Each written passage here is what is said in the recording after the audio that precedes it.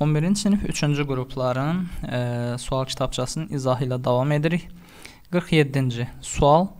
Axund dövləti və Ərəb xilafəti arasında oxşar cəhət.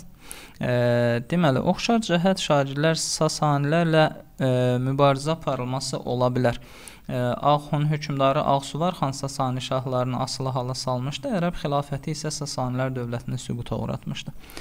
Qaraqoyunlu dövlətinin məğlubiyyəti ilə başa çatmış döyüşlər. Qaraqoyunluların məğlub olduğu döyüşlər Bağdad döyüşü var. Ə, amma ola bilməz çünki o dövrdə dövlət yox idi. 1421-ci il Alaşkert döyüşündə Teymurilər, 1467-ci il Muş döyüşündə isə Ağqoyunlular Qaraqoyunlu dövlətinin qoşunlarını məğlub etmişdilər. Doğru cavabımız 3 4 A variantındakı cavab doğru cavabdır. Növbəti sual Atropatenanın eramızdan əvvəl 1-ci əsr və Albaniyanın eramızdan 1-ci əsr tarixinə aid oxşar cəhət. Eramızdan əvvəl 1-ci əsrin 30-cu illərində Atropatenada Artabazd ə, Atropaten Alban Roma hökmdarları ilə Roma ə, Respublikası ilə diplomatik əlaqələr yaratmışdı. Eramızın 1-ci əsrində isə Albaniya hökmdarları Roma imperiyası ilə diplomatik əlaqələr yaratmışdılar. Doğru cavabımız e, A variantı, diplomatik əlaqələrin Roma ilə diplomatik əlaqələrin yaradılması. Uyğunluğu müəyyən edin hadisə və nəticə uyğunluğuna baxırıq. Frank imperiyasının parçalanması İspaniya və Portuqaliya yanlış ifadədir. İspaniya və Portuqaliya e, rekonquista hərəkatının nəticəsi ilə bağlıdır. Jakeriya və Otaylı Rusiyanları. Jakeriya 1358 Fransada, Otaylı Rusiyan 1381-ci il İngiltərədə baş vermiş üsyanlardır. Bəli, hər iki üsyanın nəticəsində kəndlərin təhkimçilikdən azad edilməsi prosesi sürətləndi. Bu düzgün cavabdır. İngiltərənin Fransadakı ərazilərini geri qaytarmaq istəməsi 100 illik müharibənin səbəblərindən biridir. Bu da doğru cavabdır. B və C variantları doğru cavabımız B variantında yer alıb. Növbəti sual. E, Sovet Rusiyasının Şeyx Məhəmməd Xiyabaniyə yardım təklif etməkdə əsas məqsədi e, deməli, Qacarlar dövlətini süquta uğratmaq olmaz. Cənubi Azərbaycan müstəqil dövlət olmaz. Xiyabaninin əli ilə ingilislərin İrandan qovulması Sovet Rusiyasının əsas planı idi. C variantı. 52-ci sualda Sultan 1-ci Muradın hakimiyyəti dövründə baş vermişdir. İlk Osmanlı pulları yanlış ifadədir. Orxan Qaziyə aiddir. Bolqarıstan və Serbiyanın asılı hala salınması, bəli, bu düzgün cavabdır. Qanunnamə 2-ci Mehmetə aiddir. Niqbolu döyüşü 1-ci Bəyazidə aiddir. Bursa şəhərinin paytaxta çevrilməsi Orxan Qazinin dövrünə aiddir. Xronoloji ardıcıllığı müəyyən edin. Monqolların Azərbaycana ikinci yürüşü 1231-ci il. Cəlari Şeyx Üveysin Şirvanı zəbt etməsi 1367-ci il. Gəncədə Cəlaləddinə qarşı üsyanın baş verməsi 1231-ci il, Qızıl Ordu xanı Toxtamışın Azərbaycana yürüşü 1385-ci il. Ardıcıllıqla baxırıq. 2 dənə eyni ildə baş vermiş hadisə var, amma zamanlama olaraq Cəlaləddinə qarşı Gəncə üsyanı baş verdi. Sonra üsyan yatırıldı. Sonra Monqolların ikinci yürüşü baş verdi. 3 1 2 4 ardıcıllığı ilə düzgün cavabımız 3 1 2 və 4 ardıcıllığı ilə yazacağıq. Üçüncü səlib yürüşünə başçılıq etmiş dövlətlər bildiyimiz kimi İngiltərə, Fransa və Almaniya krallıqları 3-cü səlib yürüşünü təşkil etmişdilər. İngiltərə krallığı 5 ilə, Almaniya krallığı 4 ilə, Fransa krallığı isə 1 ilə işarələnib. Düzgün cavabımız olacaq 1, 4 və 5 cavabları. Növbəti suallarımızın izahına baxaq. 55-ci sual açıq tipli sualdır. Qədim Romanın eramızdan əvvəl 2-ci əsr tarixi üçün xarakterikdir. Vandalların hücumu 5-ci əsrə aiddir. Bu yanlış ifadədir. Bütün İtaliyanın tabe edilməsi eramızdan əvvəl 2-ci əsrə, 3-cü əsrə aiddir. Bu yanlış ifadədir.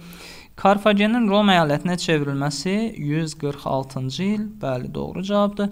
Makedoniya və Yunanistanın Roma əyalətinə çevrilməsi Bunlar da 2-ci əsr hadisələridir. Bu da doğru cavabdır. Deməli, doğru cavabımız nə olacaq? 3 və 4 cavabları doğru cavablar. Dərbənd şəhərinin erkən orta əsrlər tarixi üçün səciyyəvi deyil. Dərbənd erkən orta əsrlərdə Azərbaycanın əsas kətan parça istehsalı mərkəzi idi. Düzgün cavabdır bu.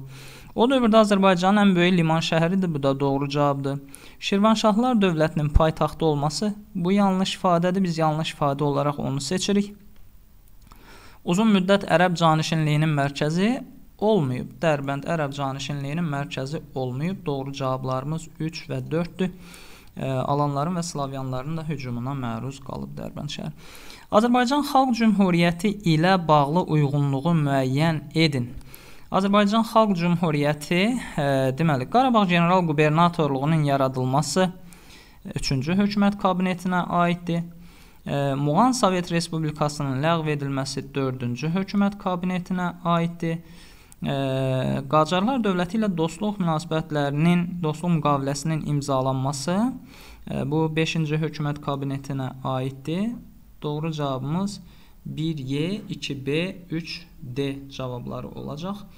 Növbəti sualımız. Bizə təqdim olunan mənbə 800-cü ildə Milad bayramı günü Papa 3-cü Leon Frank hökmdarı müasir Frans və Almaniya torpaqlarını fəth edən Böyük Karlı imperatoru Romanın e, imperatoru kimi tac qoyma mərasimini keçirdi və s.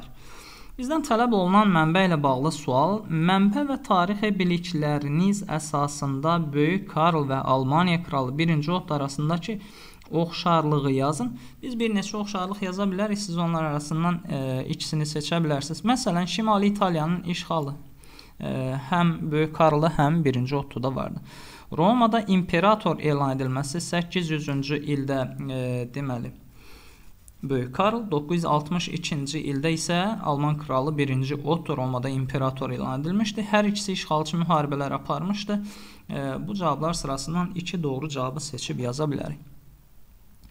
Tarixi bilikləriniz əsasında Bizans imperatorunun niyə ilk dövrlərdə Böyük Karlın imperator hakimiyyətini tanımadığını qeyd edin. Bildiyimiz kimi Frank imperiyası 800-cü ildə yaranmasına baxmayaraq Bizans onu 812-ci ilə qədər tanımadı. Bu dövlətlər arasında yalnız 812-ci ildə diplomatik münasibətlər yarandı. Bunun səbəbi Bizans özünü Roma imperiyasının yeganə varisi hesab edirdi. Bizans özünü Roma imperiyasının yeganə varisi hesab edirdi. 59-cu sualın cavabı. 60-cı sonuncu sualda Böyük Karlın e, Papa qarşısında üzərinə götürdüyü öhdəlikləri yazın. Şagirdlər bu tipli sualların yazılma qaydası e, deməli burada mənbədə gördüyünüz kimi sizə e, sualın cavabı ilə bağlı müəyyən ipucu verilib. Xristian kilsəsinin düşmənlərindən müdafiə edəcəyinə və ona müşrikçilik, küfrdən və kafirlərin hücumundan həm daxildə, həm kənarda qoruyacağını and içmişdi. Sadəcə mənbədə bizə təqdim olunan son iki cümləni tələb edir sual bizdən. Onları ora yazaraq doğru cavabı əldə etmiş olacağıq. 11-ci siniflərimizin e, suallarının cavablandırılması bu qədər. Digər sualları da, digər siniflərin kitabçalarını da təqdim edəcəm sizlərə. Təşəkkür edirəm. Sağ olun.